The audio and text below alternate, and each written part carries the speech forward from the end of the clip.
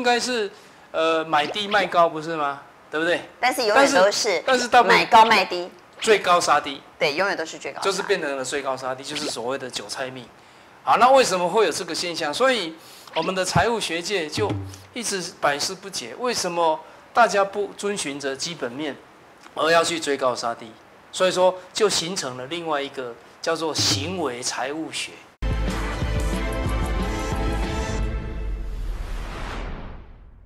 快邀请小房加入赖群组，和亲友一起找寻最适合你的房子。所以，为什么你永远买不了房子？就有专家说，因为有些人是韭菜命，永远都是被割韭菜。哈，为什么你永远买不了房子？为什么你永远犹豫不决？为什么房地产景气好的时候你赚不到钱，房地产跌的时候你也不敢进场呢？因为韭菜命。哈，哪些人是韭菜命？来，我们来提醒哈，哪些是买房的盲点？第一个就是听到房价涨，屋主开价拉高。新建案创新高就想去追，等到像现在房价开始降温了，大家说有溢价空间的时候呢，你又担心它会再跌，所以又不敢买，这是第一种韭菜命。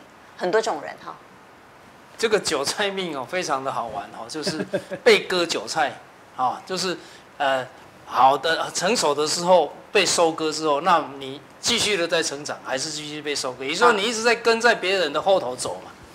好，就是热的时候你去追价，冷的时候你不敢逢低承接。对，所以这个不只是台湾的股市啊，哈，啊不啊不不不只是台湾的房市啊，啊全球的投资客股市也都有这个这个现象。我问你，多少人买在台积电六百？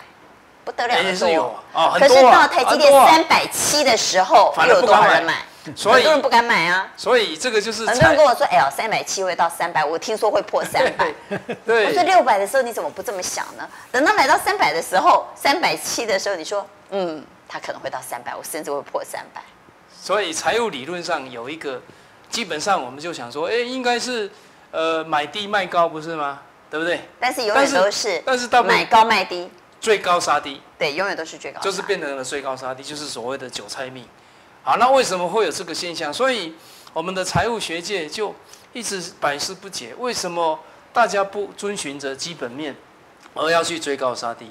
所以说，就形成了另外一个叫做行为财务学啊，行为财务行为财务学就是哎，大家都基本上都是在跟着别人后面走，而不是跟着基本面在走。所以说，你刚刚说，哎，台积电六百块买的一堆。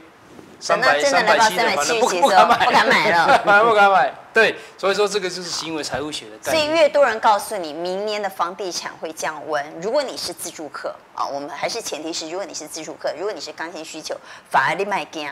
这个时候你要认真去看房子。我身边很多朋友跟我说：“哎呦，景气可能会出问题。”我说：“这个时候正是看房好时机，但你不用急着出手。对啊，你可以认真开始做功课，因为第一个溢价空间可能变大。第二，说不定你真的可以捡到那投资客断头的便宜货。哎，他手上有二十间的时候，你说他搞不赔钱，他都愿意卖。嗯，你搞不好真的捡到便宜。所以反而这个时候要认真的，嗯，好好好去看房子。操盘手的秘密最新的影片都在好房网，所以请所有的好朋友们到 YouTube 订阅好房网，同时一定要记得打开小铃铛哦。